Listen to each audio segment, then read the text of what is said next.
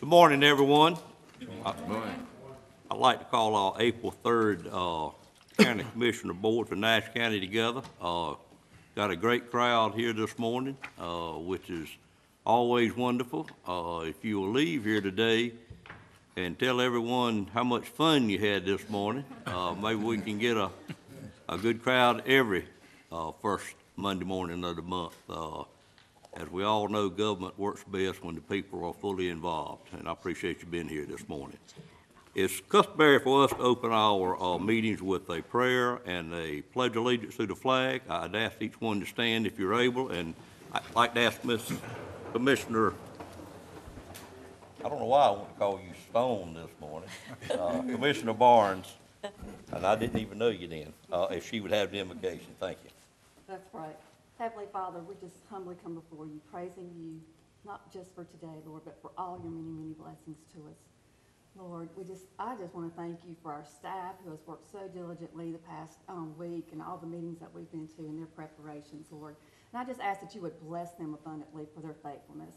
And God, your word says if any of us lack wisdom, that if we would ask of you, you would give it to us liberally. So I'm asking today, Lord, for wisdom, your wisdom, Lord, and all the decisions that we make for our county that will be um, to their benefit, Lord. Um, and just bless our military today, our public safety officers as they put themselves in harm's way for our safety, God.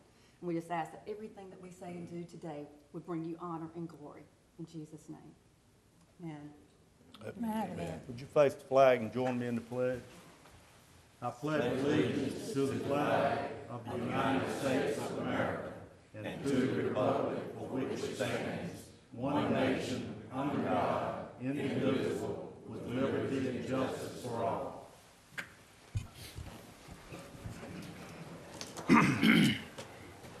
Next item on our agenda is uh, approval of the minutes. Uh, In the month of March, we had three meetings, uh, March the 6th, March the 16th, and March the 20th. You have those meetings on your iPad.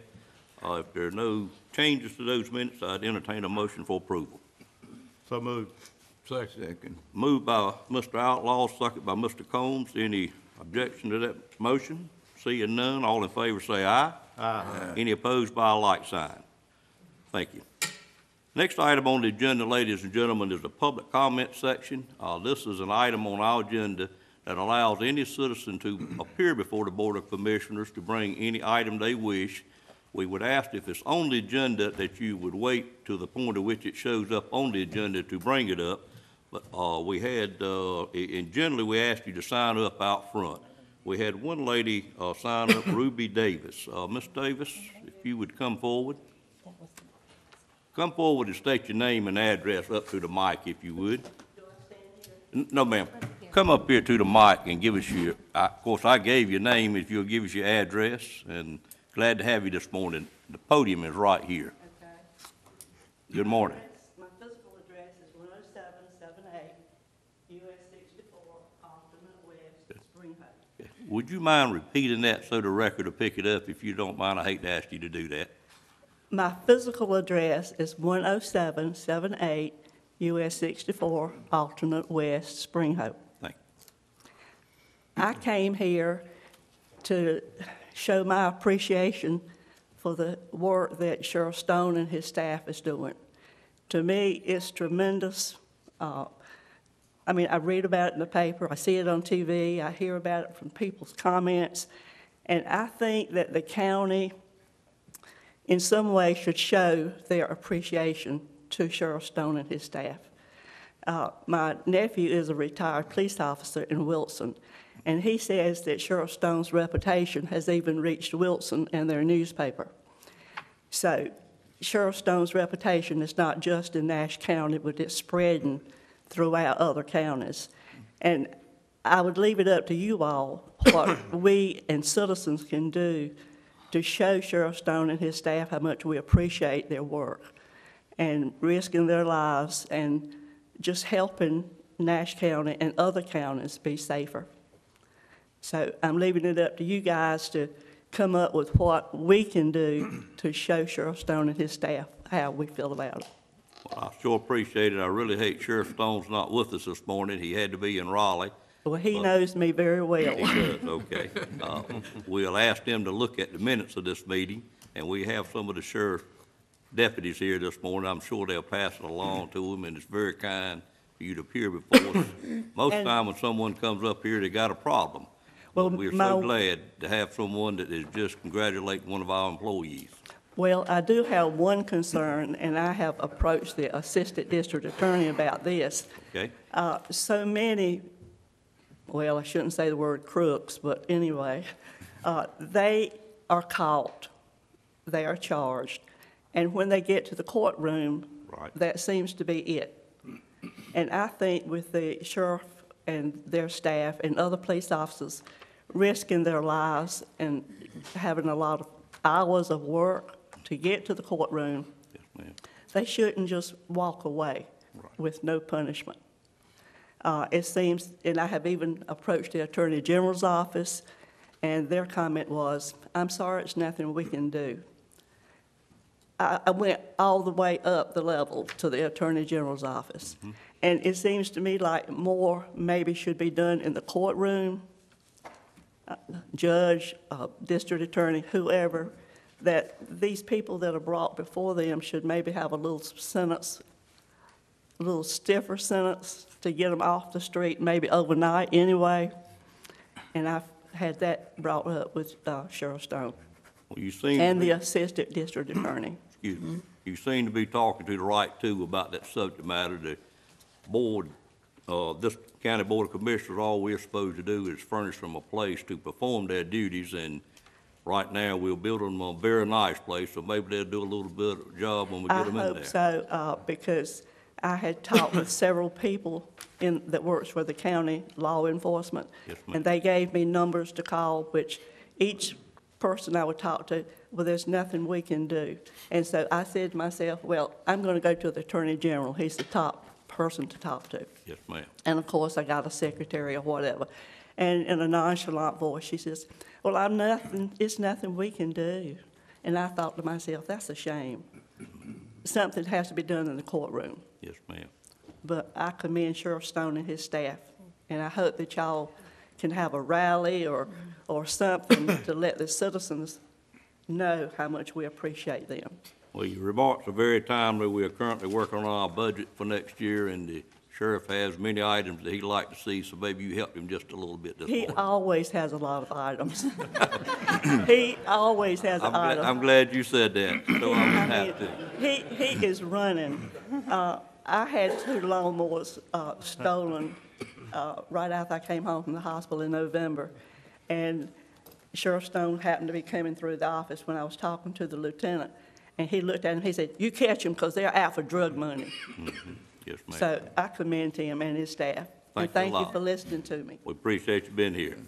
Mr. Chairman, Yes, sir, Mr. uh, Belfield. we don't normally comment uh, with public comments, but I would just like to say that uh, Sheriff Stone keeps this board informed of his work, what he's doing, and we do support him uh, very much, and we are proud of what he's doing. I think we'd all agree with Mr. Belfield's comments. The next item on our agenda is a special presentation, uh, and I'm going to turn this over to Commissioner Outlaw, uh, my vice chairman for this presentation. Mr. Outlaw? Thank you, Mr. Chairman, and Ms. Davis, I also thank you for your comments. Among the honors and awards the governor of North Carolina can bestow on an individual, none is more prestigious or more valued than the Order of the Longleaf Pine. One of the primary reasons it is presented is to honor persons who have a proven record of exemplary service to the state of North Carolina. Governor Pat McCrory, recognizing the many significant contributions that Commissioner Robbie Davis has made to Nash County, as well as regionally and across the state, has recognized him with this distinction prior to leaving office. This award was initially scheduled for presentation in December, but due to circumstances was rescheduled to today's meeting. After the presentation comments and any comments by Mr. Davis, we will take a short break to allow those wishing to speak to Mr. Davis to do so. We're very honored today to have uh, Mr. Jim Gardner with us. Mr. Gardner is certainly no stranger to Nash County or to the state or across the nation for that matter.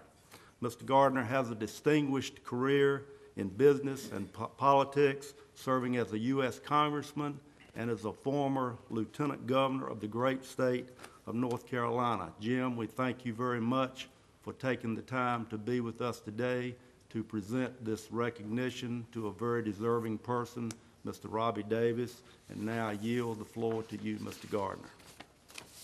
Thank you very much, uh, Mr. Outlaw. Uh, Mr. Davis, could I ask you to come down front, please? Yes, sir. And is Paige, would you mind coming up too? I don't know whether I should face you or face the audience or try to do a little of both. How about that?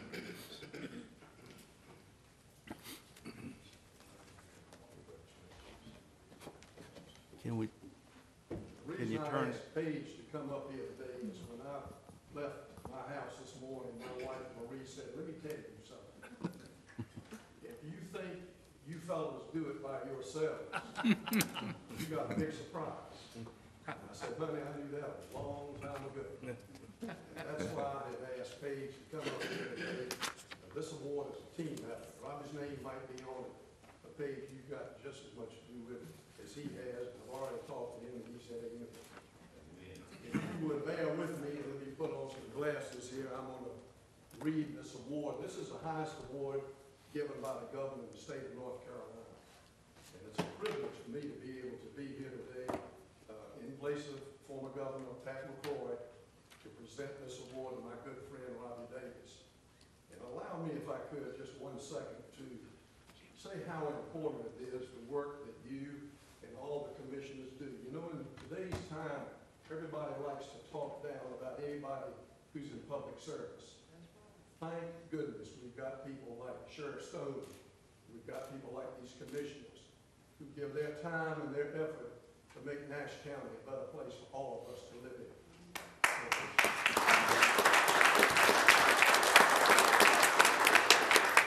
I'm going to read It's the state of North Carolina, Pat McCrory Governor, reposing special confidence in the integrity, the learning, the zeal of Robbie B. Davis and Paige Davis.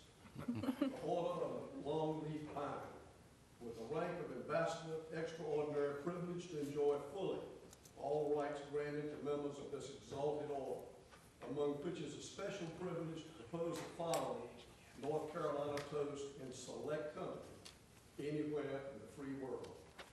Here's to the land of the longleaf pine, the summer land where the sun does shine, where the wheat grows strong and the strong grow great. Here's to down home, the old North State. Robbie, congratulations.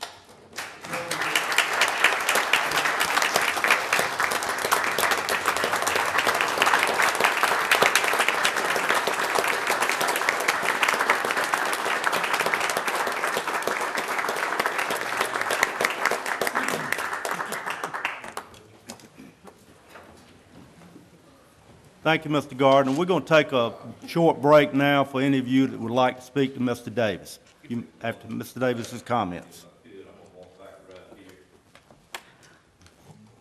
Where I left my notes at.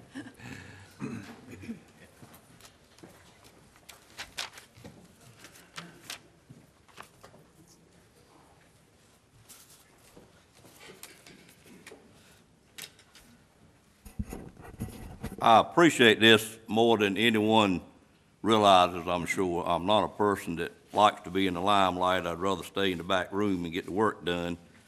Uh, and Mr. Gardner, I apologize for putting you off just a little bit on this thing, and I was ready for it, and then you left town on me, but, uh, I appreciate you being here this morning. I also want to thank my fellow board members, uh, because, uh, without all seven of us, it would be uh, impossible to do the work that we have to do. Unlike other counties, this board gets along very well. We do not uh, always agree on things. Uh, We do not have the same philosophy sometimes. But I can honestly say that we've always gotten along, and when we work on the very tough items that we have to work on sometimes. We, uh, work diligently doing it, and we try our best to understand one another. And we all come to not a consensus, because that means we all agreed, but we all come to something that we can live with. I'm not sure all uh, governmental entities or elected boards do that, but in our case, I don't know of a time when, at the end of a particular vote, particularly controversial ones, we can come back the next day and, and continue to work forward. And, and I recall our, uh, former commissioner who has passed recently, Mr. Morgan, telling me, one of the first or second board meetings I came to 15 and a half years ago, he said, I just wanted to tell you, some of the things are not going to be easy that you do here. But when you uh, have the vote, the best thing for you to do is forget about that vote, come back to the next meeting and be friends with all your board members again. And sometimes that's hard to do, but I think this board does a great job of that. As Mr. Gardner said, uh, we all depend very heavily on our spouses, and I must say Paige, uh, has always stuck by me in politics. She'd much rather be quilting somewhere, as those that know you, know her, know, but when I need to be at a meeting, she needs to go, she's always ready to go, and she certainly jumps in, and I sure thank her for that. Uh, my son Jason, who was back there with Paige, uh, who now runs our construction company, allows me to work pretty much like I want to. And, uh, I greatly appreciate that because some days I do not even get a chance to show up out there. Uh, but, uh, he has learned the business very well the last three years. He has taken it three years ago. And I just go when I can go, but it's always done and really not a whole lot for me to do when I get there anyway. I appreciate that. I do want to say one thing about a couple of people. Uh, my time in working in local government was with the city of Rocky Mount, and I worked for a manager over there, Bill Batchelor, who many of you know. I've said many times, uh, that probably two-thirds of everything I know about local government, I can contribute to Bill Batchelor. Uh, Mr. Batchelor, uh, is a person that expects a whole lot when you work for him. He demands a whole lot. But I learned a few techniques from him, uh, in my eight years working for him, and, and I learned a tremendous amount of knowledge, and I, and every time I see him, I thank him for that.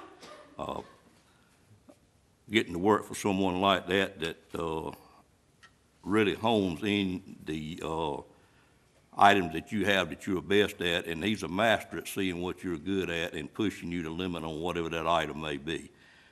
One trait that many of you have heard me say that he used was he wouldn't allow us, when we worked for local government, City of Rocky Mount back then, he would never allow us to tell a citizen we didn't know anything. If we got a phone call, we couldn't tell them we'd get back with them. We had to answer them right then. Uh, he said, uh, just tell them something and then make it right later. Uh, I looked at him when he first told me that, as all the department heads did back then, and asked him to repeat it, and he said the same thing again.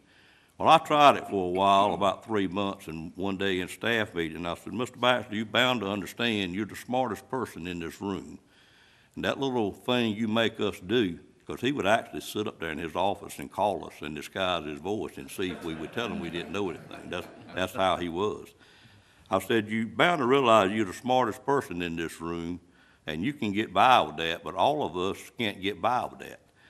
Thinking he'd give us a little leadway, he looked at me, he said, uh, keep doing what I told you, you'll get better at it. Uh, and moved to the next item, didn't give us any leadway at all. Mr. Gardner, I, I thank you for being here this morning. I vividly recall six years ago thereabout, you showed up at my house one day for an event we had. Uh, didn't really expect you to come, hadn't seen you in a long time. You got re-energized in politics, uh, about that time. And, and you have been, uh, a mentor for me ever since then, and- I thank you for that. And, and a better mentor, uh, in politics you really couldn't find. He does it with grace. Uh, he does it without animosity towards the other party. He works as hard as he can to look after the state of North Carolina and leaves the partisan side out of most of the items that he does. And, and I'm learning that each time I'm around him. County employees and staff, none of what we do up here we could do without a great staff. And honestly, I don't think there's an organization, whether it be a municipality or a county or whatever, that has a better staff than Nash County has. I recognize that probably the first three or four months I was over here, didn't know it when I got here.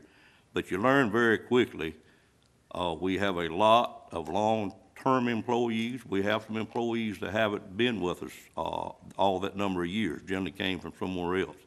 I don't know who found these employees, don't know who brought them here, uh, managers all along the way, I guess, but, uh, we have an absolute wonderful staff, uh, in Nash County. And Ms. Wells let us know she'd be just a tad bit late this morning, and welcome, than a tad bit late.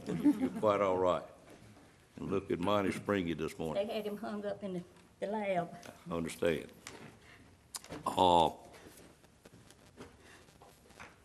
I'm, I'm staying away from partisan politics as much as I can, but our GOP executive staff, I see many members here this morning, and, and like the Democratic executive staff uh, or, or executive board members, we become very close working together like we do, and I appreciate every one of y'all being here. We do spend a lot of time together in certain years, uh, off election years, we see one another once a month. Seems like in an election like we had last year, we see each other about three times a day, but that, that's quite, a- quite all right, and I appreciate every one of you being here and appreciate all the work that you do. Um, there are many friends that I have in the audience this morning, uh, a- and many other people that I have here, board members that have serve on certain boards. I appreciate every one of you being here. I, I'd be remiss, uh, I remember the movie, and, and Paige, if I get this wrong, I forgot to ask you this morning. Uh, the movie I liked so well, Three Grump, Grumpy Men, or what was the name of that movie? Do I have that right? What? Grumpy old man. grumpy old men. Uh, when you get in later life, you learn to appreciate your old friends, and- and there's three of us that really are three grumpy old men, and the other two were sitting in the audience, Bookie Woodcock and Charles Nails, if you'd raise your hand. We do many things together, travel uh, uh, a bit together. Uh, I actually spent the weekend in Williamsburg, a- and I really think we are about as close to those three men in that movie as you're gonna find, quite frankly, and I appreciate y'all being here this morning. Uh, Again, I thank everyone for being here. I, I see elected officials from other areas here. Uh, I see other board members that I have, and Mr. Gardner, I, I know you're changing jobs, and, uh, effective, your first meeting is tomorrow, or the next, next day on the Golden Leaf Board, I believe. Is that correct? Coming up real soon anyway. Uh, Mr. Gardner's been appointed to the Golden Leaf Board, and I see another member back in the back, David Rose, and we are very lucky to be able to have you two gentlemen, Mr. Gardner, have you to continue to be in a spot where you can look out for Nash County, and we greatly appreciate it. Again, I thank everyone's been here this morning, a- and I, I I do greatly appreciate this award, and Mr. Outlaw, I'll turn it back to you, sir, and thank you for the time. Let's take a short break, speak to Mr. Davis, and then we'll reconvene. I'll call us back to order, and our first item, uh, coming back in, item seven is the public hearing. Um, I'll ask Nancy Nixon to come up and make her presentation. Good morning, and Morning. congratulations, Mr. Chairman. Thank you, ma'am. Um, This morning, we have a a quasi judicial public hearing, um, and the item, the item is a request by uh, William Bryan Colbert, the property owner of this property. Hold on just a minute, let me get it out. You'll remember, there you go. Uh, This is a petition made by Mr. Colbert um, to rezone three tracts of land totaling approximately 89.5 acres. It's located on the west side of Highway 58 South on Cabin Path Lane from R40, single-family residential, to A1 conditional use, A1CU.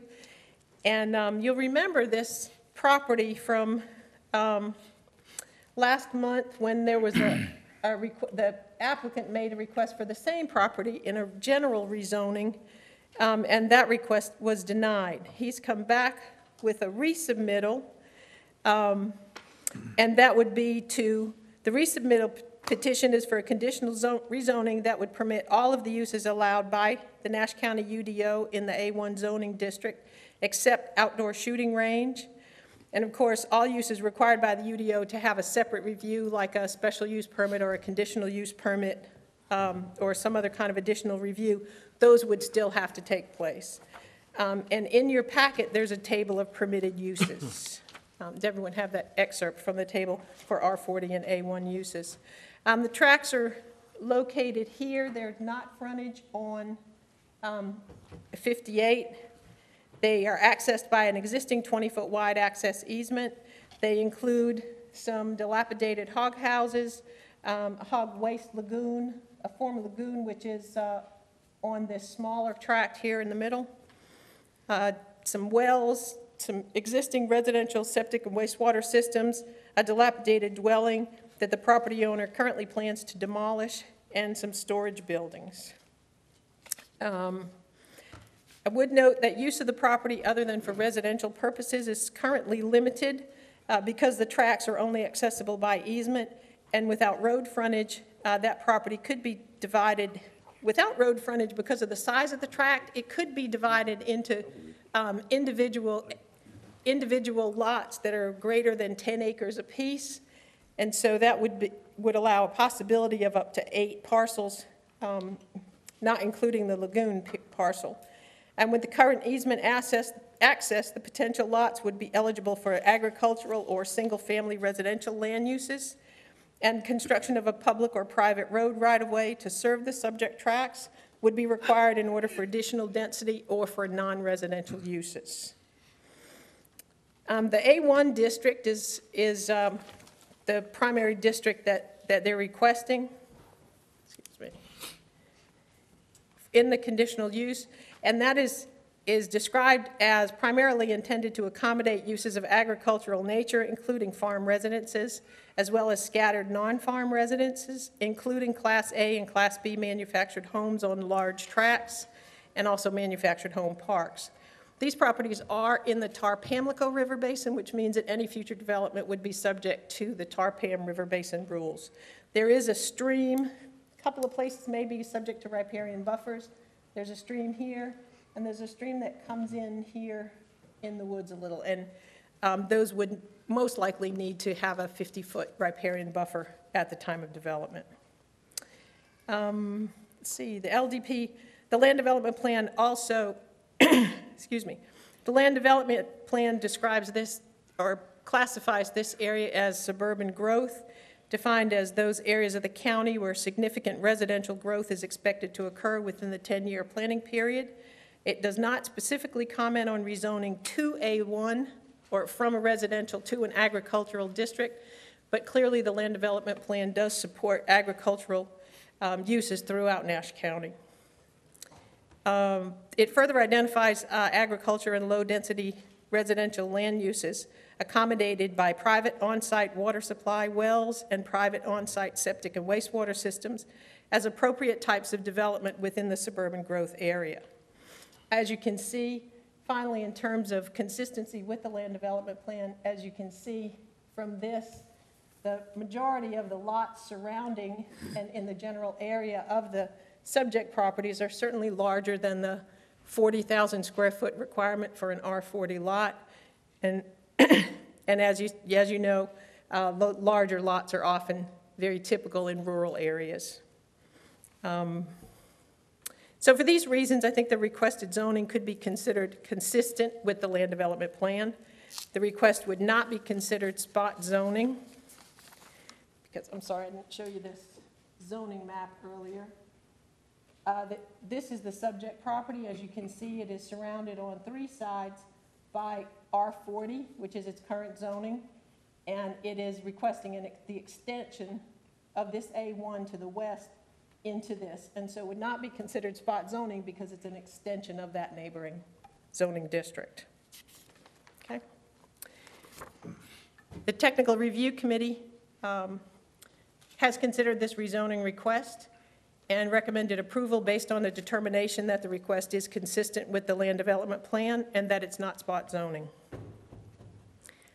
At the regularly scheduled planning board meeting on March 20th, citizens did express concern about expanding the opportunity for manufactured homes on the property and concern that significant shooting would continue. The planning Board did vote unanimously for a consistency statement A, which I'll read in just a minute, followed by a unanimous vote to recommend approval, uh, subject to the following conditions. The subject property is approved for land uses allowed in the A1 agricultural zoning district in accordance with the permitting procedures procedures specified by the Nash County UDO, Article 9, Section 9-3, table, from the table of permitted uses, excuse me, with the exclusion of shooting range outdoor. The subject property may be further developed in accordance with all applicable development regulations without a public hearing unless the issuance of a special use permit or conditional use permit is specifically required for the proposed land use by the Nash County Unified Development Ordinance. Okay. Would you like me to read consistency statement A Uh, that the planning board recommended? Yes, ma'am. Consistency Statement A, and this is, was recommended by the, by the planning board. The requested zoning map amendment is reasonable and in the public interest because it is consistent with the 2006 Nash County Land Development Plan, because the LDP explicitly acknowledges agriculture as a viable and predominant land use. B, agriculture and low-density residential land uses that can be accommodated by private wells and septic systems are recommended types of development within the suburban growth area. C, the site is the former location of a swine farm and remains rural in nature. And D, the request will not disrupt the consistent R40 single-family residential zoning found along the South NC Highway 58 road right-of-way. That's along this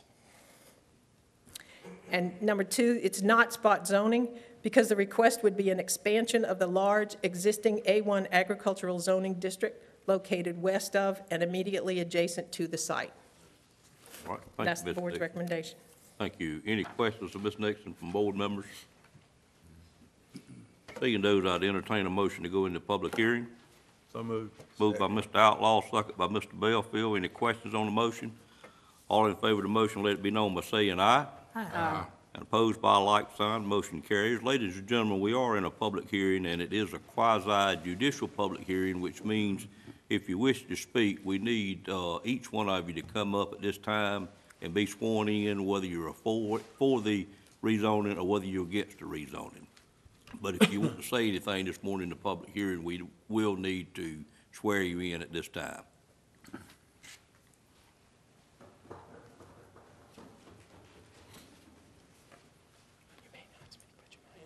I'll ask the attorney to do that. If each of you could put your left hand on the Bible and raise your right hand. Do you solemnly swear or affirm that the testimony you're about to give shall be the truth, whole truth, and nothing but the truth, so help you God? I do. Thank you. All right, uh, anyone that we, wishes to speak, uh, against this matter at this time, please come back up to the podium and state your name, your address, and we'll receive any comments that you have. Yes, sir. My name is Ernest Winstead. I live at 3971 Winstead Store Road on the land, on the south side of the Cabin Path Lane for farmland. And uh, just a few comments. I want to congratulate you on your award. That's a very good, very good thing and and nice for Nash County. I appreciate want it, to sir. appreciate- Thank you for that. Uh, The only comments I'd have is, uh, we hope it won't devalue any land around it if y'all vote for this. Uh, I think the landowners around us, all of us kind of agree that uh, as long as things are done right, it's okay. Uh, uh, I think the people are really concerned about a lot of change in, in that area because people from Sandy Cross area don't like a lot of change. And if, uh, if it is passed, we will live with it and we hope it will work out. Thank you. Thank you for your comments. Anyone else wish to speak, uh, against the request? You can give your name and address, sir. Matthew Bone, 4516 South NC 58. Okay, thank you. Um, if he puts the trailers back there, it's gonna cause more problems, in my opinion. I've seen trailer parks in the past, there's a higher crime rate. Plus, I also have land back there, a pond back there, and I can't, it's hard to keep people out of it now. More people go back there, it's gonna be even more people back there. I've already had damage I gotta repair, and I just scared it's gonna be more damage, and plus keeping people out of there, and if somebody gets hurt, it's on me. Okay, thank you, sir. Anyone else wish to speak against this request? I'm sorry, but I don't hear well, so I didn't know I was supposed to come up and take a note. Um, Oh, I'll- we can accommodate you, that's, that's You okay. can put your left hand on the Bible and raise your right hand when we find it. I'll take that. Do you solemnly swear or affirm that the testimony you're about to give shall be the truth, whole truth, and nothing but the truth, so help you God? I do. Thank you. My name is Bonnie Batchelor. I live at 3812 South NC 58. Um, If the board does approve um, this request, I don't quite understand um, why it's not a conditional use. To me, we're changing something for one person, but I, um, for, since March and April, this was the first time that I have ever been to a meeting of the commissioners. So I have learned a whole lot already, and thank all of you for your service. Um, I'm glad somebody can do the job, because I'm sure it's not an easy job. But I'm hoping and praying that if this is approved by the board, that Mr. Colbert will be a responsible landowner, that whoever he puts on those tracts of land, that he will make sure that they are responsible citizens to live in the community that we live in, because it's a tight community. We're a farming community. We're used to tractors. We're used to farming equipment. We have um, hog farms. We have chicken farms, which, you know, to us is normal. And there is a creek that runs back of this property. It flows into Sapony Creek, and Sapony Creek runs into Tar River. So you do have to be uh, careful, because I know I live next to a pig farm, and as a responsible citizen, it is my responsibility, and I have had to report it before, because I know that that waste can, does go into Tar River. And so I'm hoping that Mr. Colbert will be a responsible landowner in our community if it is uh, approved to make sure that the people live responsibly too. And thank you so much. Thank you, ma'am. I would like to make sure you understand one thing, Ms. Baxter, before you leave. This is a conditional use rezoning, uh, and of course, there's only one condition that's taken out of the list, uh, and that was about the shooting range that had been going on there. So it is a conditional use rezoning. Thank you. Anyone else wish to speak against it at this time? Anyone wish to speak for this request at this time?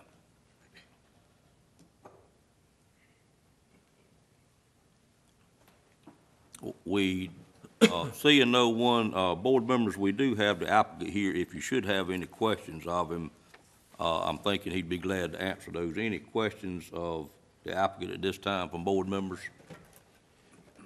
Yes, uh, I agree with, uh, Ms. Batson that, uh, you need to have responsible citizens, uh, in the trailer park, if, if that's what you're attempting to develop. I understand you said maybe a couple, but, uh, in, in my opinion, I know about when you rent things out, people, they don't own it and they don't generally take care of it like it should be not unless the owner insists and makes sure they do. So I, I'm wondering if you, with their, their concerns, will you do that?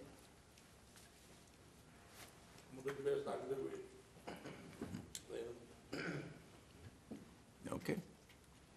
Any other questions or comments from board members? Seeing none, I would entertain a motion to close the public hearing at this time. So move. Moved by Mr. Belfield, I think, uh, seconded by Ms. Wells. Any questions on that motion?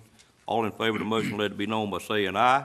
Aye. Any opposed by a like sign, motion carries. Uh, board members, we are now out of the public hearing, and we must have a motion for consistency statement A, uh, which moves us forward to the rezoning or consistency statement B. I'd entertain a motion at this time.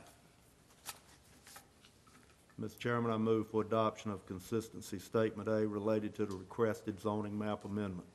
Uh, I have a motion by Mr. Outlaw to approve consistency statement A as read into the minutes just a minute ago by staff. Is there a second to that motion? Second. Second by Ms. Wells. Any questions on the motion? All in favor of the motion, let it be known by saying aye. Aye. Any opposed by like sign? That motion carries unanimously. Uh, now we need a motion to rezone the property to a conditional use A1 rezoning. Mr. Chairman, I move for approval of the rezoning request, subject to the condition recommended by the planning board. I have a motion to approve the request for rezoning. Is there a second? Second. Second, a motion by Mr. Outlaw, second by Ms. Wells. Any questions on that motion? All in favor of the motion, let it be known by saying aye. Aye. Any opposed by a like sign, that motion carries. Thank you, Ms. Nixon. Next item on the agenda is, uh, an approval of revised fire districts for insurance. Uh, and I call on Scott Rogers to make that presentation.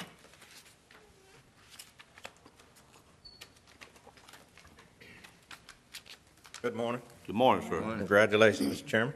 Thank you, sir.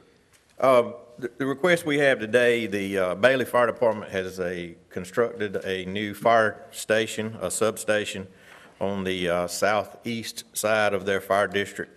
And what we're asking today is approval of a redraw of several insurance districts in that area to allow uh, everyone that is within five miles uh, that, that were, that used not to be within five miles of a, uh, of a rated fire station to now be included in the, the Bailey tax, uh, excuse me, the Bailey Insurance District, uh, for insurance grading purposes. Uh, the, the depart, the station is complete, the, the station is now, um, staffed with equipment and has been inspected by the Office of State Fire Marshal and has been approved. Uh, So this would certainly be a positive move uh, for many of the citizens in that area that were um, not reachable, if you will, for insurance grading purposes in the past. Uh, Any questions from board members or Mr. Rogers? Scott, I don't remember us taking action like this in the past, and probably because I have forgotten it, but it, do we often, you're using the word insurance fire district. Could you explain to us a little bit the difference between fire district and insurance fire district?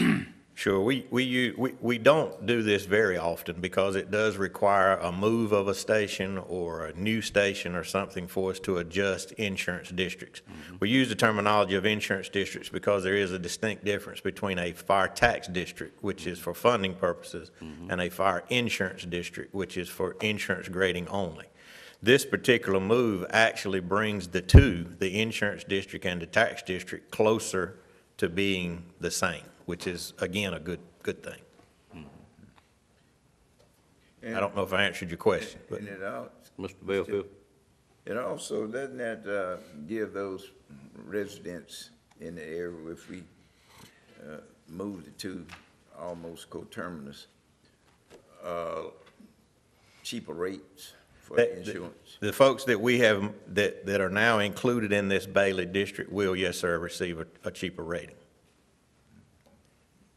Maybe I'll get with you later. Uh, apparently, the rest of the board members understand it, but I still don't quite. I- Maybe I'll get Mr. Combs to explain it to me sometime, but. That, that, one question, that, the area right in there behind it, the new substation that's in Sims Fire District, Yes, sir. is that still gonna be Sims Fire District for service or tax? In the current proposal, the gray area you see just below that yellow fire station is, is in fact the Bailey, I'm sorry, the Sims Tax District, which is also the ten, the Sims Insurance District currently. will it remain Sims Insurance District or change to It, it could be changed. That would be a decision made by this board. Uh, That district, of course, like I say, is a tax area that was developed some time ago and has always been served by Sims. So, so those parcels that are still grayed out are paying tax, not only paying tax to Sims, but also receiving protection from Sims. I So think you'll see a petition to change that soon. I would not be shocked by that. Getting close to home, right? Uh, um, Those remaining parcels um, that are in Nash County, are they within five miles or that insurance threshold uh, of the Sims station? Yes, sir, they They are. are. Mhm, Yes, sir.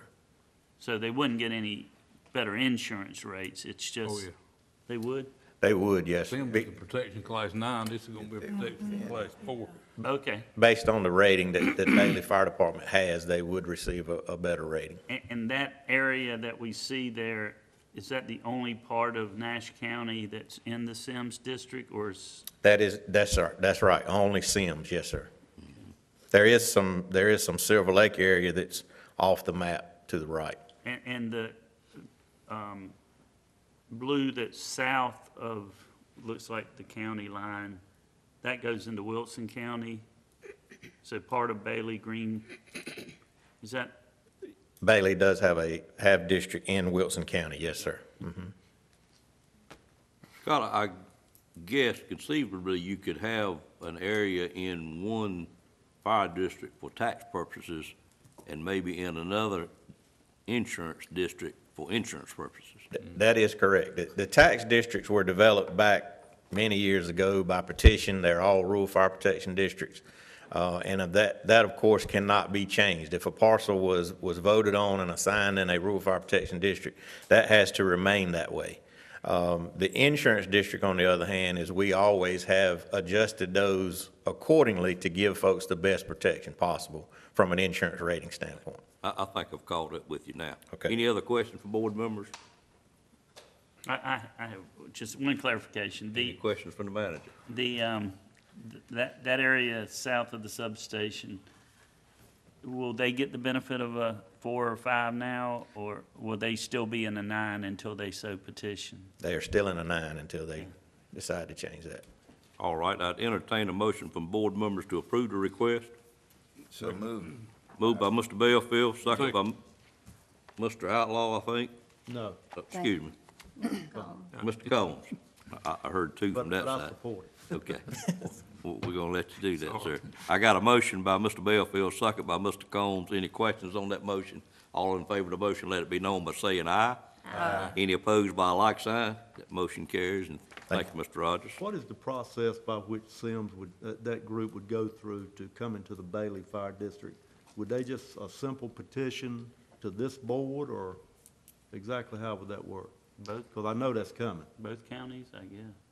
It, it actually would not require a petition, it would require action uh, from this board. My recommendation would be to just simply reassign that Sims tax district to the, to be responded to by the Bailey Fire Department, and therefore we could include it in the Bailey Insurance District. And, and also in the Bailey Tax District? Yes, sir. Well, I wouldn't include it in the Bailey Tax District. I would, con- I would allow it to continue to be the Sims Tax District, but cov, but contracted with that Sims District to Bailey. We do the very same thing. Uh, Maybe an example some of you may be familiar with is the old Stony Creek Fire Tax District. Right. That district still exists, but it's covered by Battleboro and Red Oak. That way you wouldn't be taking that, that revenue away from Sims, is that why you say leave it that way? You would be taking the revenue, yes, sir. You would be taking the Yes. tax revenue away from Sims if it was Bailey response. Yes, sir. Mm-hmm.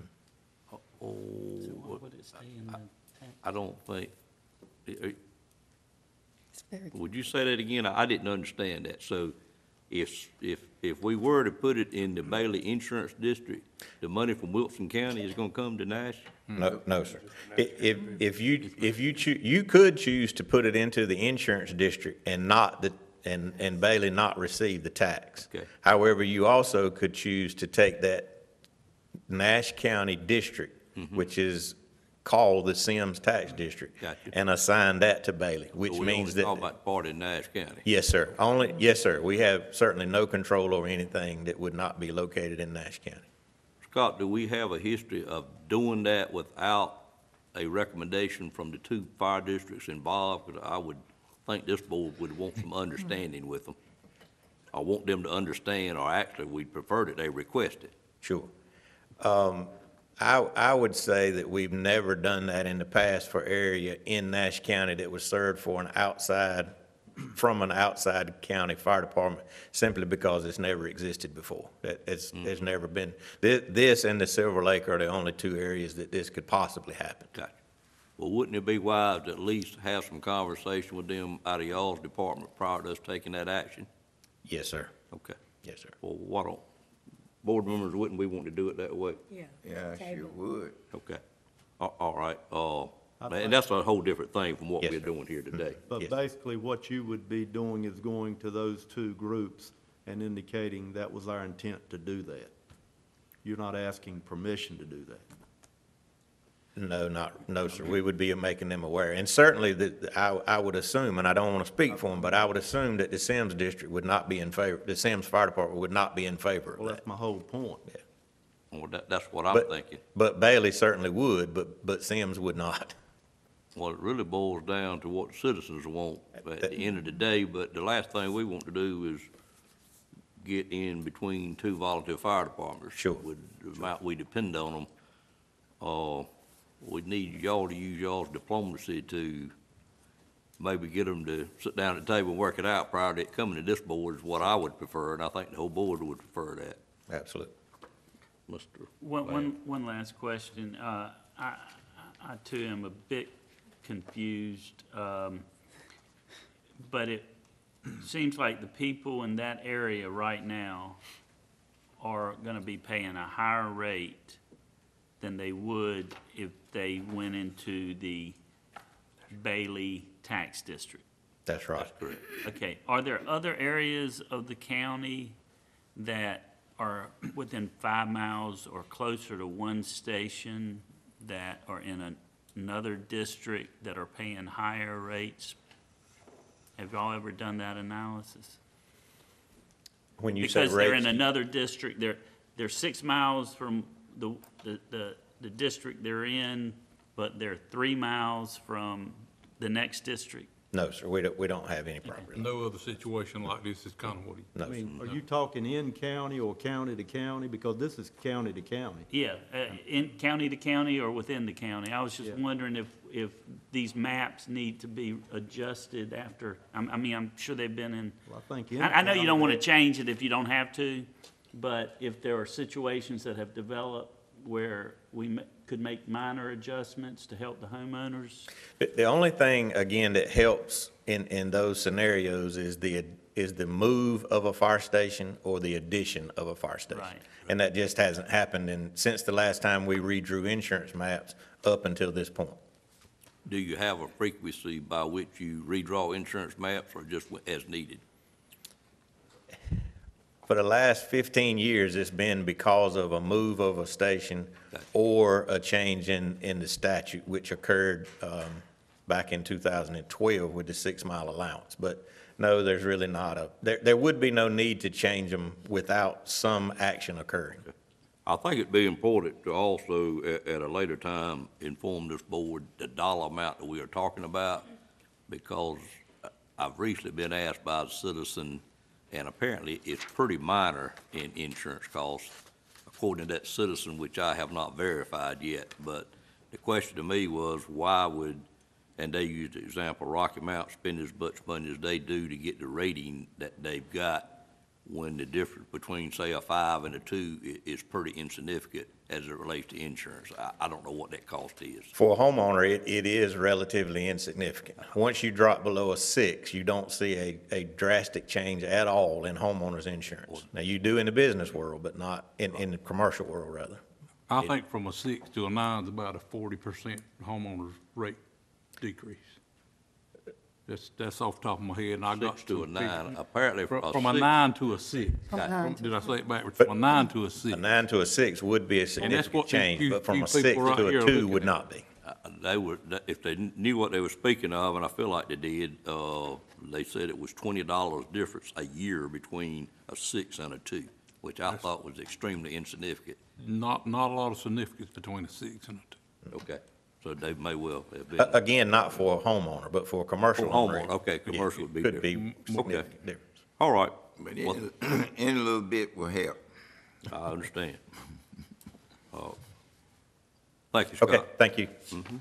Uh, we have approved that motion. Uh, I'm going to item number nine. Uh, Ms. McGee, which is a Nash Water System Grant Opportunity. Uh, this will be interesting. Good morning. Good morning. Go Tar Heels. Go Tar Heels, I see that. I'd like to introduce to you Shannon Russell. Shannon Russell, she is the CEO of Eastern Carolina Solutions, and she has been working with us and, and is here to answer questions. I'm going to make a presentation. Um, She has worked with Derek Hawks of Public Utilities and, uh, and myself and developed a grant slash loan application for Nash County to serve the northern Nash area with public water. In northern Nash area for board members is the Red Oak, Dortches, the way we generally refer to it area. Excuse me, Ms. McGee. Yes, that's correct. The North Carolina Department of Environmental Quality, Division of Water Infrastructure, State Reserve Project Connect NC bond funding applications are due April 28th. These funds are available on a competitive basis for wastewater and/or drinking water projects based on affordability criteria and project scope. The SRF grant funding base loans are, grant funding and base loans, which are 0% interest loans, and target loans, which are low-interest loans, generally half of the market rate. Each have a $3 million cap per applicant, per system type, every three years, and we've not gotten them in the past three years. SRP projects have a 24-month project schedule after the award notification, which means we would go ahead and move forward if we get an acceptable uh, offer. Uh, Nash County appears to have a competitive drinking water application for the spring 2017 SRP cycle, in which there's a whole lot more funding available than previous round. This could result in adequate funding for this Northern Nash uh, water project. You may recall that we have a plan and a preliminary engineering report prepared by the Wooten Company for water service in this area, which was funded largely with the Rural Center grant. And if you have questions regarding the funding source, um, Ms. Russell is probably the best one to answer these.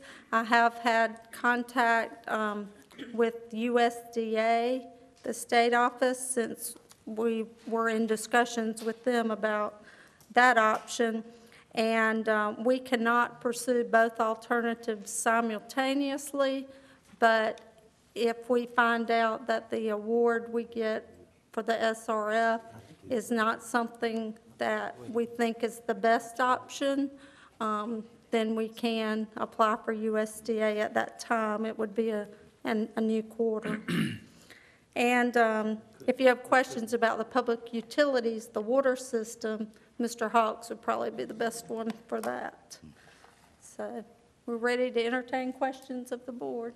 If I could paraphrase it in language that the board, may help the board members just a little bit, uh, or update us where we are, because Patsy and I uh, have talked about this quite a bit the last couple of days, but, you know, we were on a track to use USDA loans to build this northern, uh, northern water district with.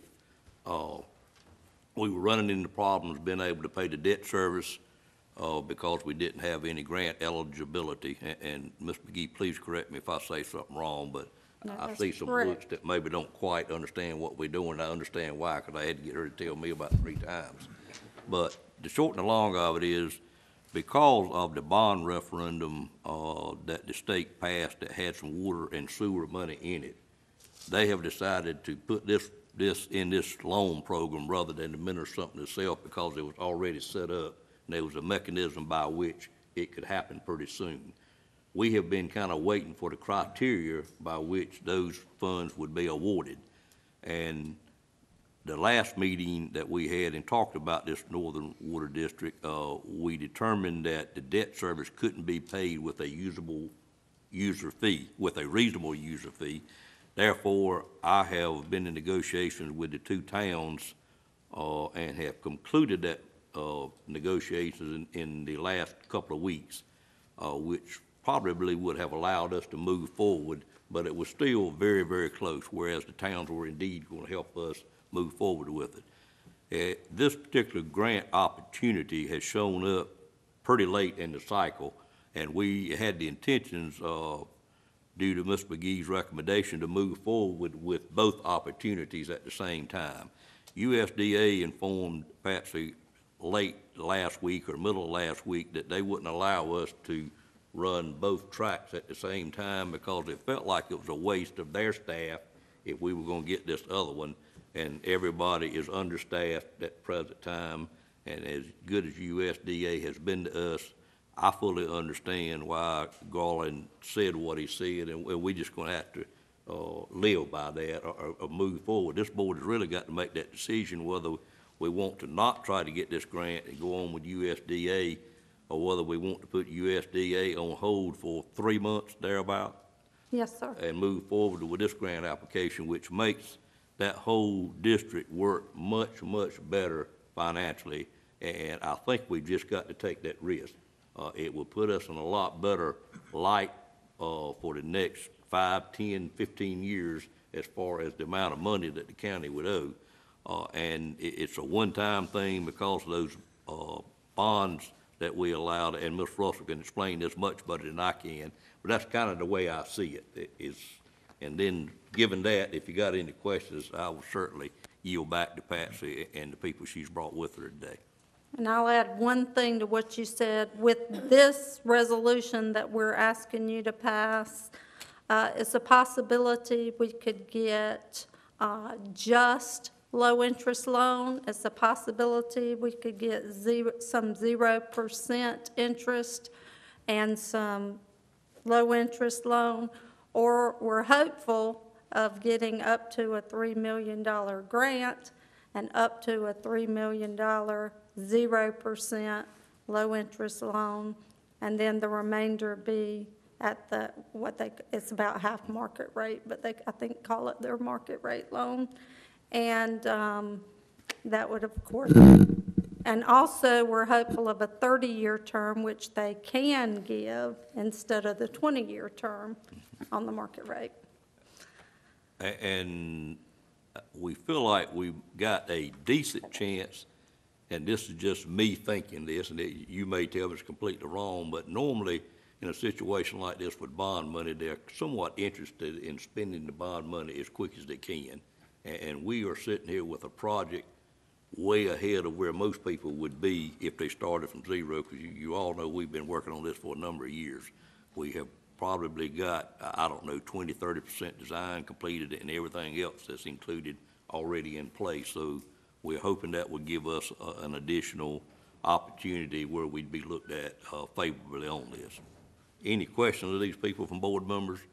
A- And Ms. Russell, if you can add to what we've said, I, I'd like to hear what you had to say. Yes. Certainly. Um, Thank you for the opportunity to address the board. I think um, if you'll permit me just to make one quick statement that helps put this into context. Please- So we're please do. talking about two separate um, sources of funding, the USDA loan, which had been the original path for this board, and then um, state funds through the NC, um, Connect NC bond and the state reserve projects. Um, So back a year ago, in April of 2016, the state funds for the DEQ State Reserve um, projects had a budget of $12 million. And of that 12 million, 5 million was earmarked for um, Tier 2 applicants, which Nash County did not meet that criteria. Um, But with the, in- the Connect NC bond funding that then was available in the fall 2016 application cycle and um, this application cycle in April of 2017, back in the fall, they awarded 300 million in grants and loans to water, drinking water and wastewater um, projects. And it is budgeted for the April 2017, this funding cycle, 80 million. Um, 18 million in grant funding for drinking water projects and 35 million um, in loan availability for drinking water projects. So, um, and as many things change with the state, uh, so does the availability of um, how they calculate eligibility for grant funding. So it makes sense that back in April, um, Nash County would not have had a competitive grant um, for this project, but um, with the Connect NC bond funding, um, I'm here to say that it's a competitive grant cycle, but I believe um, your application would, in fact, be competitive. And as Patsy said, the best-case scenario for Nash County would be a $3 million grant funding, 3 million in zero-interest loan, and 3 million in a base rate of uh, half the market um, interest rate for your, um, for your project. So, um, If anyone has any questions about my contact with the state, I've already met with um, state um, staff members um, and spoke in generalities about this project. This resolution today really just permits us to um, submit the application in April. I was not aware of the USDA um, and understand their concerns with why they wouldn't want to do a um, dual path. Um, However, the state said that they do co-funded projects with USDA and state funds very regularly. So I would be interested in maybe having a subsequent conversation where we can explain the uniqueness of this scenario and why, um, if Nash County does decide to pursue the DEQ funding, um, why, why we're doing so. So you say sometimes you co-fund things, so it- maybe with that pointed out to USDA, they may reconsider the dual path thing, hopefully. Possibly. Patsy really is the, the USDA guru here, and I, I can speak only on behalf of what the state staff um, discussed with me in our conversations about co-funded USDA. But I would be optimistic, um, since we would be, the board would be doing some good financial stewardship um, by looking at all options. Right, We certainly can try that again, I hope, Patsy, but y- y- you seem to understand those folks better than ev- everyone else, so m- maybe you know where we're at, but, uh, Ms. Russell, so, so you, you're bringing us a guarantee that we're gonna get approved this morning, is that what I hear? only guarantee in life is death and taxes. So um, I, I, I can say that I would not waste your time if I didn't feel like we could produce Sure. a viable application. Every application cycle is, is different, but um, last cycle that was awarded in January, Yep. the highest scored for drinking water was an 83 out of a priority point scale of 100, and the lowest funded, which received 1.5 million in grants as well as um, some loans, was a 27. Hmm, okay. Chairman. And any of these opportunities, as I understand it, Patsy, are better than our route to USDA, so if we get either one of the three, we're gonna be improving ourselves. Correct. A- And then it would be no issue with, if they do not change their mind about the dual path, going back to USDA to pick up the, the balance of the funding needed. I hope that would be the case. Um, You're correct. If, if we get any grant money, that'll be more than we could have gotten with USDA. Mm-hmm. And if we get any zero interest Right. rate loan money, that would be better. There is a 2% fee that you pay mm-hmm. upfront, I think, with SRF loans. So Once we'll you're take approved. that in consideration Once when you're we, approved, okay. Any other questions for board member or manager? Yeah. Mr. Belfield? Where, where are we with now at this point with USDA?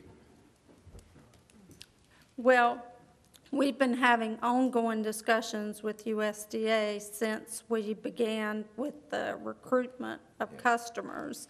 And, and periodically, you know, we talk about this project. With USDA, there's a need to create a district. With SRF, there's not. And so, um, when we were, about the time we were looking into the SRF loan, it just so happens that the state office called me to see where we were with things, and, uh, and I was able to update them and talk with them about the project. But where we are with them, we have not submitted an application. We just had an ongoing conversation about quarterly interest rates and the possibility of grant funding, which there is not from USDA because of median household income in that area, and, um, and just an ongoing conversation about the project. Belfield, if you recall, we've just not to date been able to make the numbers work without significant contribution by Nash County outside of an enterprise fund, which some of the board members have expressed to me they had some concern with, and I, I understand that as well as I have concern with it myself. It's something that we haven't done before, so we're doing everything we can to make it work without having to put funding in it that is not designated for an enterprise fund.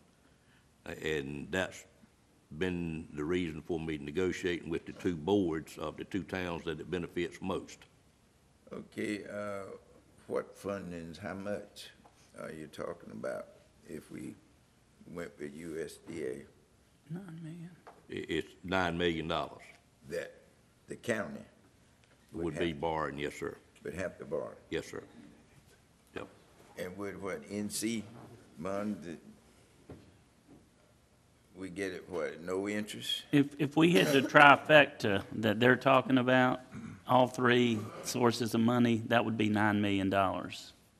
So if we only get two or one of those, then that gets us a, you know, But best case, you get Proportional. three million grants, you get three million, zero percent, you get three million at half market. So that sounds like a pretty good deal. It- to It's, me. we, we recommend that y'all pass this resolution and, um, go forward, allow them to pursue it. At worst, I think i- if we are not successful, uh, we've delayed the project another three to four months. And the longevity of this project i- in the whole scope of things, i- it's just something we need to do. Well. It, it is the way I that- feel about it. That was one of my concerns, that we delay, delay, Sure. and Yeah, well, it's got so, Mr. Belfield, as I said last time, I generally will buy my sun drops outside of my district because I keep running into people that need the water that we hadn't got it to them yet. Well, well, I do too. And, and, and I certainly don't want a whole lot of delay. You're right. I- I appreciate that very much, and- and I'm with you there. Any other questions for board members? Derek, do you, are we okay? You got anything to add? You good? Thank you, sir. Right, got it. I sure appreciate, Ms. Russell, you being here this morning, and uh, we hopefully going to put it in, in your hands here in just a second. Appreciate your work on it. You are a resident of Nash County, is that correct? No, I have a business. uh, You have a business, in- Nash okay. County, but I'm a resident of Wilson County. Okay, I, I saw your, I saw some address that was in Nash Yes, County, okay. yes. So you are a consultant that works with these grants, is what you are, okay? Yes. Well, we thank you. All right. Any other questions? I just have a comment. If you be s- successful in these grants and um, being a business in Nash County, uh, we'll, we'll we'll try to give you more business in the future. There you go. That sounded real close to a bribe, but not quite. Incentive, incentive. I'd entertain a motion to move forward with, with this resolution. So moved. Moved by Mr. Outlaw, second by Ms. Barnes. Any questions on that motion? Uh, Mr. Chairman, Yes, sir. uh, I, I'm gonna support this resolution, but reluctantly, because I, I don't know, just in my mind, there's, it's, I'm not clear that it's gonna go far. It's good if it does. Well, Mr. Belfield, it is certainly not any guarantee whatsoever. But the difference between the cost of Nash County for this water district moving forward and the stress that we are under to make this, this whole water system work financially, i- it's really a chance that we just need to take. And I appreciate you supporting it. Any other comments or questions? All in favor of that motion, let it be known by saying aye. Aye. Any opposed by a like sign? Motion carries unanimously, and thank all of y'all. Thank you. Next item on the agenda, Do uh, we need to authorize the submission of the grant loan application, or was that included in the resolution, or? Um, motion to approve the resolution and related grant documents. Uh, Yeah. Yeah, I, You've authorized Okay, so it's already covered. it, it, well, actually, they've got the chairman signing it, which is fine. Okay, I just saw it as two items Right. here. I just wanted to make sure we had it all covered. we Yeah, good, the Mr. appropriate person would sign it. And- And they've Yeah, got, Either way. Yeah. Whatever they require. Yeah, They it's- require the chairman, Oh, yes, we- if not, Okay, M- Ms. Russell advises that, that we are fine the way we did it, but thank you, Mr. Outlaw. You're welcome. Sure, we won't have to come back thirty days later and visit this again. Uh, item ten is a resolution of support, uh, being presented by our manager, Mr. Lamb. yeah, I received a letter, I think it's the third item in your packet under this tab, uh, from the city of Rocky Mount requesting a resolution in support of them putting signs on 64 and 301. Welcome to Rocky Mount signs. It requires, DOT requires that the county adopt the resolution. The city of Rocky Mount will be paying for the cost of the signs. Uh, We would recommend approval. Any questions on that, uh, item? And just for clarification, and it seems like I read, these signs are located at the entrance points in the city of Rocky Mount. Yes, sir. So they're not just scattered out. Right. They're at the count, uh, the city uh, lines. Right. Yeah. I guess they'd be similar lines of signs of what we did a number of years ago at the county line. Nash County. Correct. All right. Any other questions on this? Entertain a motion for approval. So moved. Moved by Ms. Wells, Second. second by Mr. Belfield. Any questions on the motion?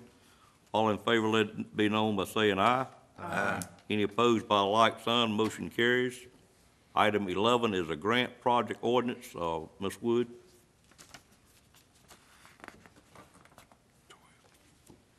Good morning. Good morning. Uh, This item I have is for the approval for a grant project ordinance. Um, The grant is an essential single-family rehabilitation loan pool disaster recovery grant. This grant would provide additional funds to persons and families affected by certain natural disasters to pay for certain rehabilitation costs based on the adopted policy guidelines in the grant. The grant is funded through the North Carolina Housing Finance Agency, and all program activities will be required to be completed by June 30th, 2019. Grant's $150,000. Any questions of Ms. Wood? Entertain a motion to approve. So moved. Moved by Ms. Richardson, Second. second by Mr. Belfield. Any questions on the motion? All in- in favor of that motion, let it be known by saying aye. Aye. Opposed by a like sign, motion carries. Thank you. Uh, next item is budget amendments. Uh, Ms. Wood? Okay, uh, the budget amendments I've presented for approval, uh, the first two are with the Health Department. The first one is $1,100 um, from additional funding from the state for a Zika planning coordinator that would serve as a contact person for related inquiries um, um, with Zika. The next item is a, uh, no county funds requested for that one. The next item is additional state funding um, to enhance the local um, Women, Infant, and Children Program. That's $14,994. No county funds requested for that one. The next uh, budget amendment is for emergency services. This is um, a supplemental grant from the state of North Carolina Department of Public Safety. Um, These funds for hosting incidental command, job-specific training, performing um, uh, for the Emergency Operations Center enhancements. It's $17,959. No county funds requested. The next item is for, actually, Parks and, um, Parks and Recreation. I have AJ and I apologize. It's Parks and Recreation. This is to budget uh, sponsorship money that has been received for spring sports, um, for soccer, t-ball, baseball, and softball. It's $6,200. No additional county funds are requested. Next item, next two items are Soil and Water Conservation Department. The first one is grant funds received from Duke Energy Foundation to be used for the installation of outdoor environmental learning center at Bailey Elementary School. This was $2,541. No county funds are requested. The next item is also for grant funds received. This is, these grant funds are from the North Carolina Foundation for Soil and Water Conservation. Um, It's to be used to establish a cotton crop demonstration site and hosting of field workshops. This grant was, is $4,013. No additional county funds are requested. And the last item I have is for a cooperative extension. These funds are to budget donated, or donations, um, that will be used to cover costs that, for the, to cover costs for the farmer's market, uh, for the bluegrass event that was held. That was one thousand four hundred and thirty-five dollars. No additional county funds are requested. Any of these need to be acted on individually or all together? They can be all together, if that's Any, okay any with the board. questions of Ms. Woods on any of these? I, I have one. Yes, sir. Um, the cover crop initiative, did we have that in the budget? Some funds for that? I that? don't believe, not this year, we did not have. Last year, we added them just like this year. Is- Uh, We didn't budget for the revenue side because we can't anticipate the grant. Okay, but we did budget for the expenditure? I believe last year, the cover crop, it was a piece of equipment for the cover crop. Okay, so in the sixteen, seventeen budget, neither on, prior to today, neither on the revenue or expenditure side, did we have anything for cover crops? I- I know we didn't have revenue. Uh, I, I need to check, I'll double check on that. I believe we did not um, budget for anything, so we, because we can't anticipate receiving the grant. Okay. But before, if you would like me to double check on Just, that. we'll, we'll look at it later. It-. It's just, um, I, I don't know if we're double, doubling that Right, expenditure. I Yeah. see what you're saying. Okay, Mhm. thank you. Right. Uh, seeing no other question, entertain a motion to approve these seven budget amendments. So moved. Moved by Ms. Richardson, I'll second it. second by Mr. Belfield. Any questions on that motion? All in favor of the motion, let it be known by saying aye. Aye. Any opposed by a like sign. Motion carries. Next item is board appointments. Uh, Ms. Dorsey, Good morning. good morning. We have several board appointments this morning for your consideration. The first is to the Nash County Board of Adjustment, which has a vacancy for alternate position number three. This position would serve from May 1st, 2017 to April 30th, 2020. We do have one recent application from Mr. Kenneth Gray Mullen that was included in your agenda packet. All right, uh, board's pleasure on this. Mr. Outlaw, you have a comment? Mr. Chairman, I, just briefly, uh, I recommended, uh, Mr. Mullen for the Board of Adjustments. Uh, for those of you that may not know him, uh, he's a former fire chief for the city of Rocky Mount.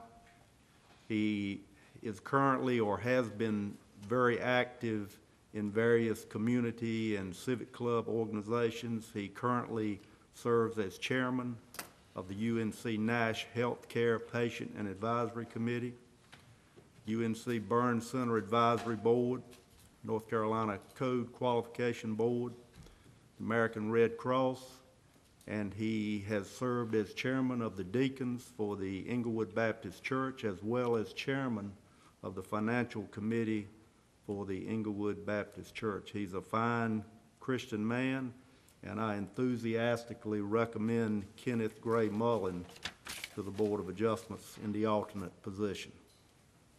Sure he's got time, Mr. Outlaw? I'm kidding with you. Bus- Busy people are who you're looking. Okay. Uh, any other comments on that particular He is a fine appointment? young man. Yep. All right, entertain a motion for approval. Or I'll take Mr. Outlaw's comments as a motion. Yes, sir. I'll second. Second by Ms. Wells. Any questions on that motion? All in favor, let it be known by saying aye. Aye. Any appro, any opposed by a like sign, motion carries. Ms. Dorsey? Okay, excuse me. The next um, set of appointments is related to the Consolidated Human Services Board. Um, We still have the psychiatrist member position open, but there are several other positions whose two-term, two-year terms have expired or will expire at the end of this month. Those include Dr. Tony Coates, the psychologist member, Jeanette Pittman, public member, Agnes Moore, consumer member, Dan Davis, public member, Sarah Thurman, nurse, registered nurse member, Mike Stocks, professional engineer member, and Bert Daniel, consumer member. And as you'll recall, these appointments uh, come, are required to come recommended from the Human Services Board, and they have done so at their last meeting, that all of these be reappointed. And they're all two-year terms? Well, we did, this will be, um, Getting it staggered, right? It's a four-year term now. We started them staggered two and four, so everyone wouldn't roll off at the same time. So, so it's four-year terms? Yeah, They're being- th- you're right. That's a mistake in my notes. It's a four, another Four-year term, but it's four Four-year years. term. Okay, that's, that's what I thought we were doing. And so that would take them to uh, 2021. Do you need to check that, or you know that? I know that. Okay. I'm sorry for the confusion in That's my okay. notes. It's quite all right. Any questions on any of those, and, and we assume they have all agreed to continue serving? They have. Since they came from the Board of Health anyway. They did. All right, entertain a motion to approve. Um, Mr. Chairman, I make a motion that we approve the said names, uh, for the Consolidated, uh, Human Service Board. All right, I have a motion by Mr. Belfield, is there a second? Second. Second by Ms. Barnes, any questions on those, that motion? All in favor, let it be known by saying aye. Aye. Any opposed by a like sign? Motion carries. Ms. Dorsey? Okay, then we have several positions on the Tourism Development Authority, um, who, and they, these people are eligible for reappointment to one more, at least one more three-year term. Those include Wayne Murphy, public member, Faye Bedingfield, collector member, Zach Dvorak, I'm saying that correctly, collector member, Lydia Davis, public member, and Bill Lanes, tourism-related member. And I have contacted each one of those, and they're willing to continue serving. Uh, I have one which is that the situation may change shortly, where we may have to find another member there, but not, not quite yet, is not sure. Uh, any questions on that appointment, those appointments? Uh, entertain a motion for approval. Mr. Chairman, I offer a motion to approve the recommended names to the uh, Tourism, Tourist, um, Development Authority. All right, have a motion by Mr. Belfield, is there a second? Second. Second by Ms. Barnes, any questions on the motion? All in favor, let it be known by saying aye. Aye. And opposed by a like sign, motion carries. Uh, Adult Care Home Community Advisory Committee. Yes, I did have some conversation with the Regional Long-Term Care Ombudsman from Upper Upper Coastal Plain Council of Governments to Rhonda Whitaker. She does tell me that she needs some more members on that Adult Home, Care Home Community Advisory Committee. She has asked for as many as seven more members, if we can find people. And I did include a report that sort of shows what they do. Um, I think these members kind of stay on for life or until they need to, to get off. But she is also looking for some members, but she said it would probably be good if we were all looking, um, in what she meant by this board and her office, trying to identify people willing to serve. She did not have anybody to recommend. She just wanted you all to start thinking about who might be a good fit. Yes, ma'am. Yeah, we Yes, Miss, did. Ms. Richardson, excuse me. yes, Miss Rosemary, um, and I'm looking at that report she sent in, and that is an old one, but there's only two. uh, Two of fun- those left. Mm-hmm. Functioning members on there right now. And, uh, because there is some training to go with it, and maybe once a year we have a workshop, and it is all good, but, uh, once you start in it, it's hard to turn it loose because it's just an, uh, a rewarding responsibility to take care and look after these residents. Um, and I'm hoping that we can get more people involved in this because we have to look at our elderly people that's shut in. Right. And that's what it's all about. It does require, though, going to the facilities and, Yes. and, you know, everybody's not willing to, Once quarterly, yeah. to do that, but Mr. Chairman, it's important. Uh, I I got Mr. Belfield, then I'll be right back to you. Mr. Belfield? Oh, I was just gonna say, uh, week for last in, uh, in the Upper Coast Plain Council, uh, board meeting, we did discuss it. And, uh, between the director of, uh, senior director and the Assini County as well to look for people to fill these positions. They are short at this time. Um, I think I can probably find, I know at least probably a couple, if it's okay with the, uh, Board of Commissioners.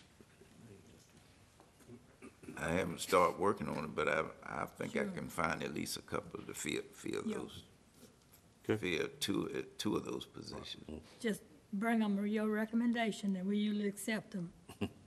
We don't Not gonna any, be any problem, is it, we Ms. don't Richards? turn any work, working people down, you know, if they consent, we give them a try. Okay. I think we, Well, I- We love it. we should coordinate with Ms. Richardson, because she has served on I- I- this we- board we have a talked- long time. I've talked with her. Right. um, Madam, so- Ms. Barnes? I was just gonna suggest if, since they need seven, if one from every district. So you're gonna put, the- put us all on the hot seat? Good. So we'll have all equal representation. Sure. That's a good idea. Sure. Uh, It is, and it- that means each commissioner needs to try to locate someone, great idea. Ms. Dorsey, have we been through our, I I know we do citizens academies, a lot of times those people will sign up to serve. Have we been through all of those lists to see if anything, anybody has requested that board? Probably not, but someone that seems, maybe has a like interest that we might could substitute? I'll check that. I, I don't recall anybody re- requesting that specifically, but we will go back and check. Yeah, and- And Talk- um, Patsy has a whole new group coming out of that. That they do. um, Agents, uh, And I realize we Academy. have all those on our iPad, which is something we could also do. yeah, but I will do, I'll, Ms. I'll look McGee, at that. Getting to know those over that extended week period of time may come to, uh, she may remember someone that may make a good fit for that. Yes. Mr. Chairman, could I ask you, Ms. Dorsey, if you would, I know it's on the iPad, Mm-hmm. but could you send that information to us via email as an attachment? Oh, the report. This Nash County Adult Care Home Committee Advisory Sure. Committee Annual Report, which gives you the purpose of the committee and various other information. And Right. just indicate in the email when you send, this is all a reminder to me, so I'll remember to, to do what, uh, Ms. Barnes has recommended. That they meet, I, this, I think Ms. Rich said they meet quarterly, and they have a retreat once a year. So then I can spell that information out to the individual that I'm going to approach. I will be glad to do that. All right, Mr. Belfield? uh, are, are we gonna try to get a member from each commissioner district now? Okay, so I, I need to back up off of, uh, I don't mind you working in my district to find a member if you, if you like to. I mean, if you run across someone. Yeah. I don't think that would be an issue with any of us. Uh, and of course, the challenge is for all of us to get this done. Right. It's, uh, well, I won't use the word I embarrassment, know my but, but we district need to take already- care of business. and my district already has two a good- member on it.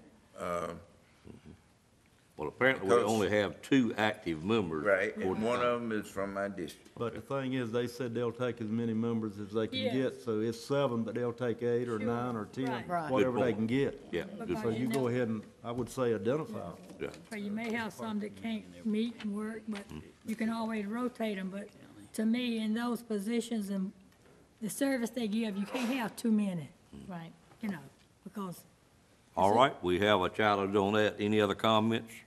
I'm gonna forget that until I get that email. You'll get it. Okay. I made myself a note. well, you got most of it in there. I won't ever remember it.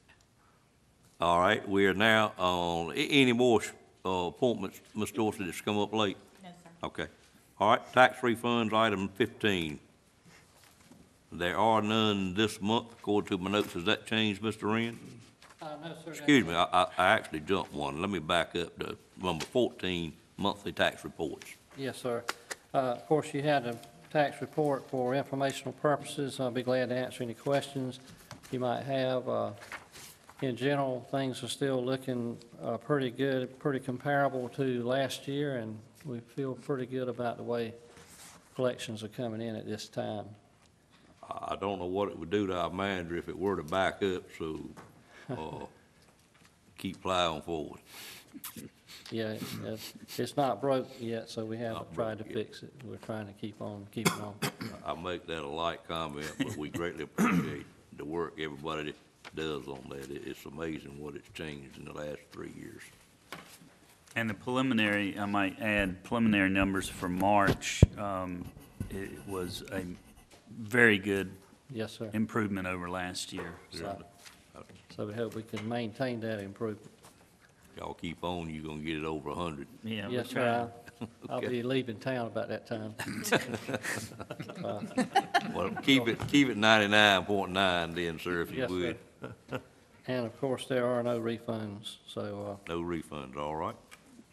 Thank you, sir. Thank I- you. I'm on item number sixteen. Uh, any comment from any commissioners on any item?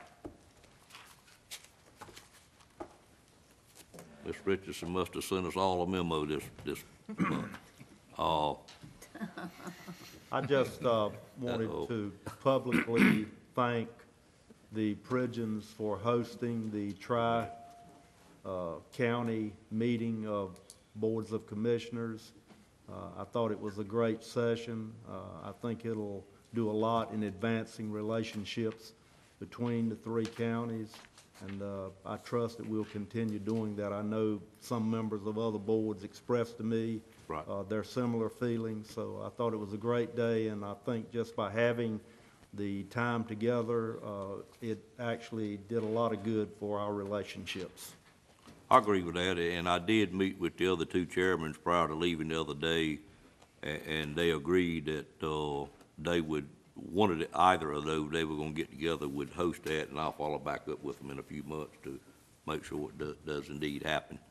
I don't know if we do such a thing as this, but I'd recommend that maybe a, a short letter from uh, county manager or somebody go to the Pridgeons thanking them for hosting that event, because it is not a public uh, facility, it's a private facility. Correct. Yep. I think we can certainly do that. Yes. All right, any other commissioner have comments? Uh, Mr. Manager? Uh, just a few things. Uh, I want to thank everyone for their participation in the Commissioners' Retreat last Thursday and Friday. Um, we really appreciate the Commissioners' support on several initiatives that department heads presented related to recruitment and retention, building security, training, and improving employee morale. And we will continue to work to finalize those initiatives. Um, I think we got a lot done on the budget. Um, Working for those two days was the equivalent of uh, two budget work sessions, because that's really what we focused on. And um, so uh, at the April 17th meeting, once we're able to get the budget based on y'all's um, recommendations and directives uh, set, we will present that to y'all probably on the 17th. And at that time, the commissioners can decide if they need to have a, uh, another budget session prior to um, pre- presentation by staff to the board in uh, May. Um, At our, um, at our April 17th meeting, we plan to have presentations from the Rocky Mount Wilson Regional Airport and uh, also from Solid Waste, uh, a department. We want to have at least one report from a department and outside agencies each um, meeting, second meeting of each month. The health fair is this Friday, April 7th, from 9 to 12 on the third floor of the hallway. We invite commissioners to come and be a part of the event if you are available. On, on the calendars this month, uh, I want y'all to check your calendars to make sure that um, you are aware of the NCACC district meeting in Roanoke Rapids on Wednesday, April the 26th at 5:30. Uh, We will leave from here, um, and um, probably may need two cars, but um, w- w- we'll um, plan to leave from here uh, if you don't plan to um, carpool, just let us know. What time would we leave, would you think, Mr.? Um, I'd say about quarter to five. Maybe some kind of email or something will come out, can, Sure. Four forty-five sounds good. Um, I mean, Roanoke Rapids, you probably get there in a little less than that, but just make sure we're on time. So, yeah, leave, leave right before five o'clock. Um, also, we have a joint meeting with the, uh, Nash Rocky Mount School System on Thursday, April the twenty-seventh at the Ag Center. What was the time for that? Six. Six. Six o'clock is what I. Yeah. I already have on my. at six o'clock. And um, after that, we will, at that same uh, meeting, uh, hear from Nash Community College on their budget request. And both of them gonna be at the Ag Center? Yes, um, the schools are going first, and then the community college will, will follow them. That reversal last year. That reverses last year. Um, Of course, the commissioners, uh, after this meeting, after the closed session, will be doing a tour of the Gold Rock area.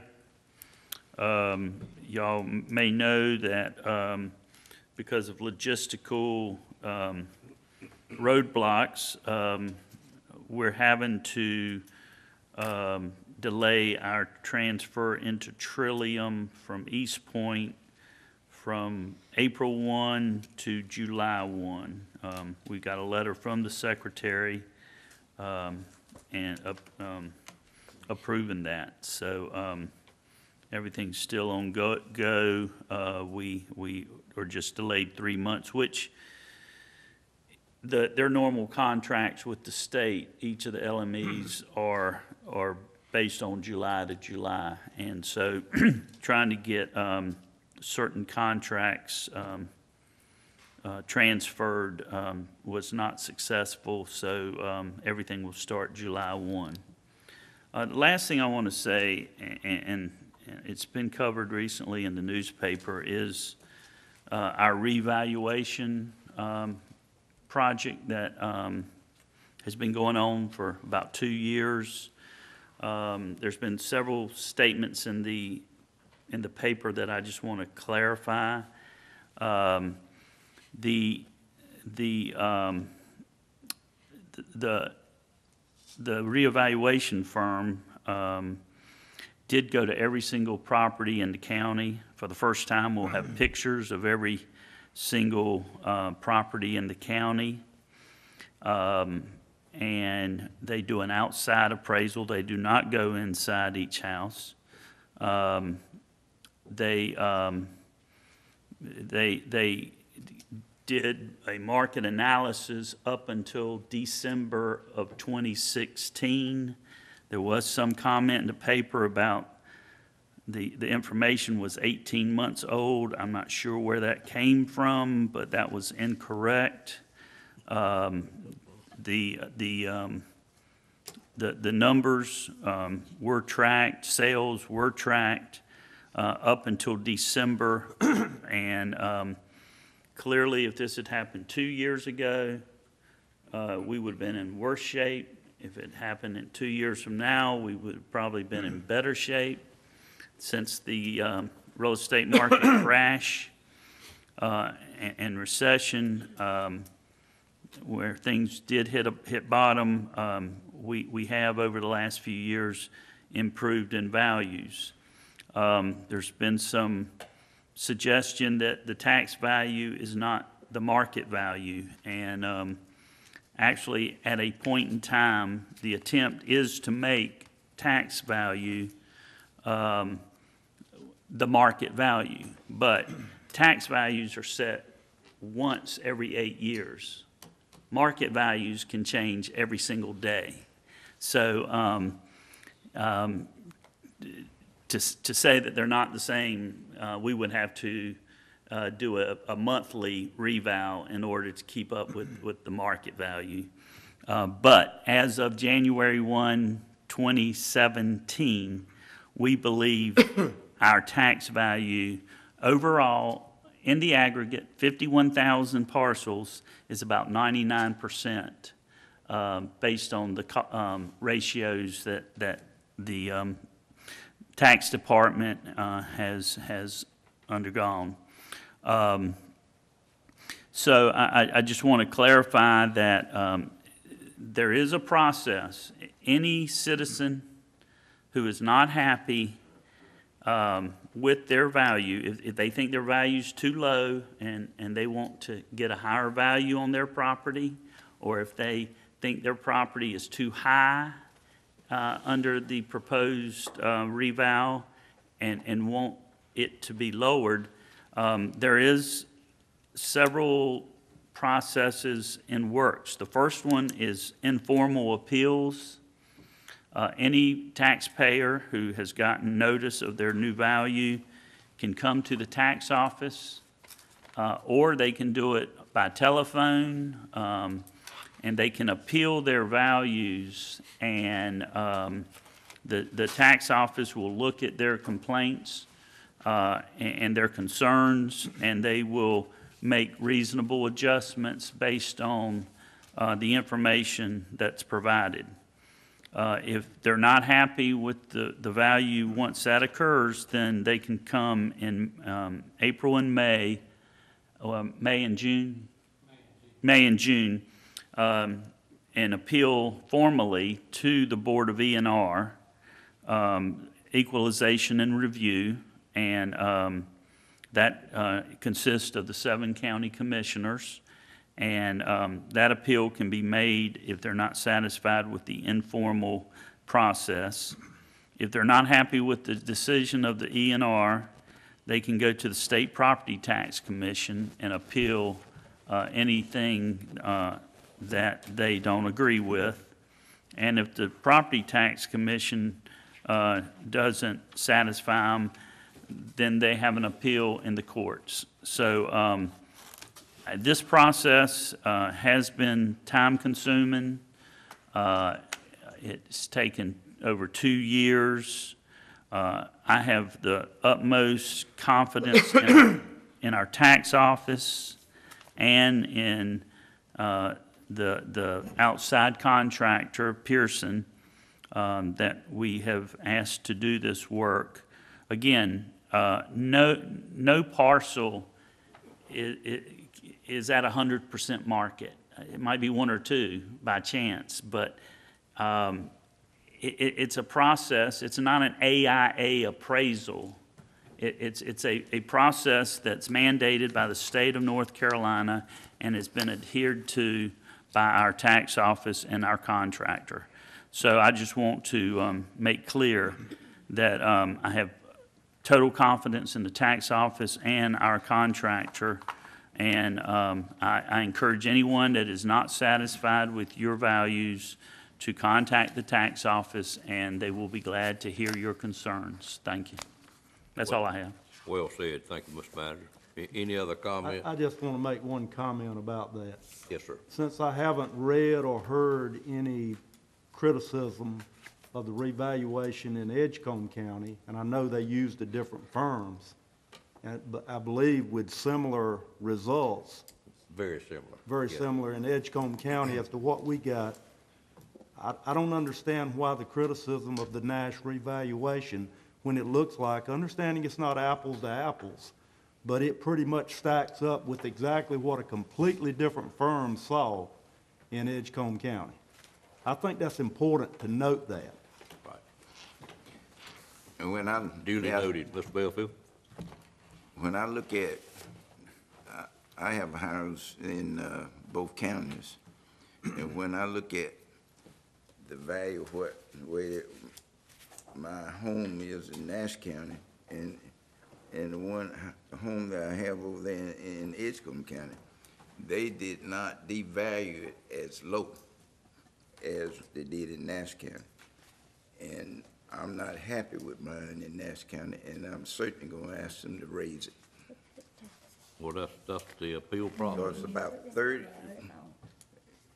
look, well, this is not accurate though, but it appears to me about, they lowered mine almost thirty percent. close to thirty percent. And, and I'm not happy with it, and, um, and I want it raised. Well, as Mr. Lamb said, we encourage any citizen in the county that's not happy with what, uh, our staff and our consultant came up with to please appeal it, particularly those that think it's too low. Well, you know, it's not an exact science. It- I it is mean, it's better than ninety-nine percent. Right. I think that's pretty, pretty good. Yep. Well, appraisal Well, work one itself is thing- not an exact science. One Mr. thing I Belfield. would say, it, it, it doesn't drive the, the market price, but it certainly has a starting point Understood. on, on the market price. That's where they start. Right. When you're trying to sell them, they look at the tax value.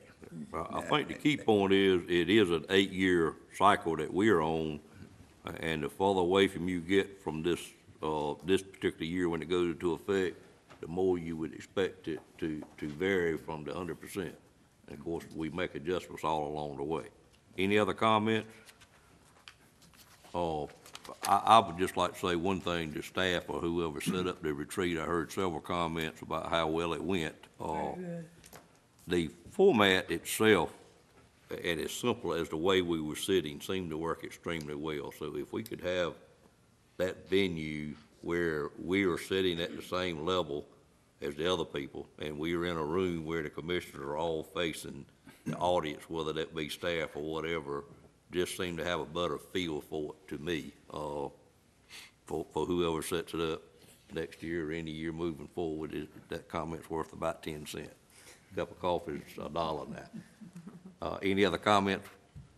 Uh, I would entertain a motion, uh, to go into closed session for economic development for matter of attorney-client privilege and for acquisition of real property. Uh, I, I do expect, or I do hope that we may have an item to take up when we come back out as it relates to acquisition of real property.